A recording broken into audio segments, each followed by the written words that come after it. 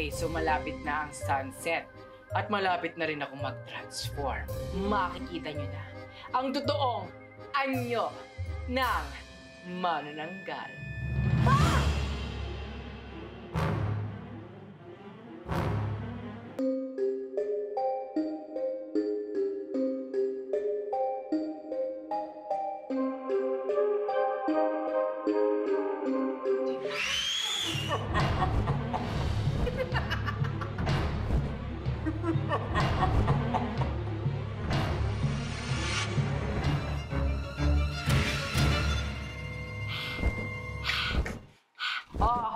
huwag kayong ano-ano sa manananggal ako. Kalahati ko, day.